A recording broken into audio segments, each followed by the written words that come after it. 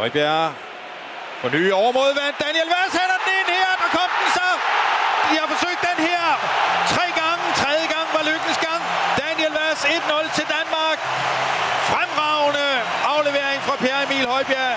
Vi var inde på det fra starten af, at han kan blive nøglen med de her afleveringer. Ja, ja, helt klart. Men, men også igen, hvem er det, der tager løbet fra hans wingback-position?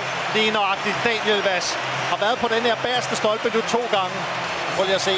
Og den aflæng. Og prøv at lægge mærke til løbet her. Bag om ryggen, de er boldfixeret. Hætter den direkte ind. Fantastisk start af Danmark. Ikke offside. Her ser vi de aflevering igen. Han har kigget ud af øjenkrogen, lægger den lige øh, til rette. Kommer med den rigtige øh, højde hen over Tierney. Ej, var det vidunderligt mål. Daniel Vass. Der, der gerne vil stå og, og gøre det rigtig svært at frustrere. Nu skal de frem på banen. Og det giver altså Olsen. Så en uh, mulighed måske for afslutning. Mæle videre til Damsgaard. Damsgaard ind til Mæle, og så en ny mulighed. 2-0 til Danmark. Hvilke, Oh! hvilke kombinationer! Det starter med Andreas Skov Olsen, der holder trykket. Og så ender det med Joachim Mæle. Uha, uha, uha. Og det her det er helt vanvittigt. Er det bare mig, eller er det her stadig GM?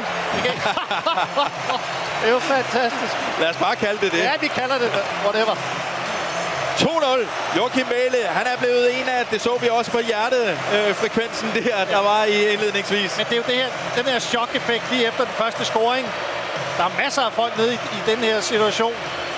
Men det er, når Mikkel Damsgaard får bolden her. Fremragende lige ind i løbet på, øh, på Mæle. Suveræn afslutning. Og prøv at se, han starter den her med, hans lille frække hælaflevering. Ja, men det har jo også Ah, det det hele, det her mål, ikke? Altså, der er igen hele benene på aflevering, målmanden. der er ydersideafleveringer, der er løb. Prøv at se her. Ja, men det er jo vanvittigt. Sing et mål. 4-0 sejren der. Skov Olsen, det var ham, der satte det her i gang. Du efterlyste, at han skulle op i fart og udfordre. Det fik vi set her. Og så springer han over, og får vi en ny mulighed. Ej, nu er jeg altså, jeg bliver skuffet, at vi ikke laver 3-0 her. Altså, prøv lige at høre, det er jo helt... Endelig får vi Andreas Skov Olsen lige nøjagtigt spillet fødderne. Det er der, han skal have den. Med hans drev, med hans driblinger. Fremragende bold faktisk ind på tværs af feltet her. Ja, Det er selvfølgelig lige Og det er- presset i skudøjeblikket af Andy Robertson. Spring onside. Og så følge med. Det er over det bærste område. Stor mulighed. Og returen. Jeg kan hverken Andreas Christensen eller Simon Kjær få, øh, få en fod på. Men øh, stor mulighed til Josef Poulsen over det bagerste område.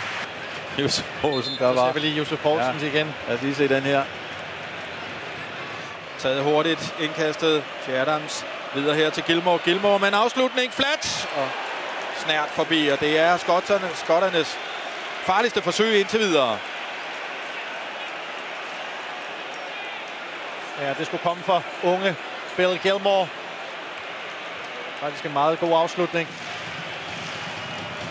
Masser af plads til Delaney. Afslutning. Delaney og så en retur. Ja, der kommer Craig Gordon så ned over i anden omgang. Tæt på, at Yusuf Poulsen kunne få en gratis chance her.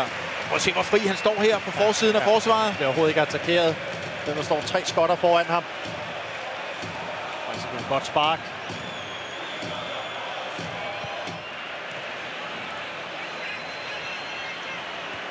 Der kommer der måske en mulighed så til Ryan Fraser. og Det er glimrende det er redning. verdensklasse, det der. Fantastisk redning af Kasper Schmeichel. Kæmpe chance til Fraser. Og der er vi altså spillet fuldstændig tyndt. Det her det er jo lidt en, en klassisk Andy Robertson. Går ind, vil egentlig søge ned mod baglinjen, men slår den så tidligt ind. Og masser af plads til Ryan Christie her. Eller Der kommer Emil Højbjerg. Kan det blive til en chance? Måske her. Stryger. Ej, ja. Tæt på at kollidere, men holder bolden på banen. Så kommer han så. Emil Højbjerg. Hætter i jorden, men lige på Craig Gordon. Joachim Andersen, så skyder han simpelthen. Sådan der. Ej, nu stopper festen også. Jeg prøv lige at se den, den aktion af Pierre Emil her. Altså, der er arm, sætter fart. Det er jo det, han kan udfordre.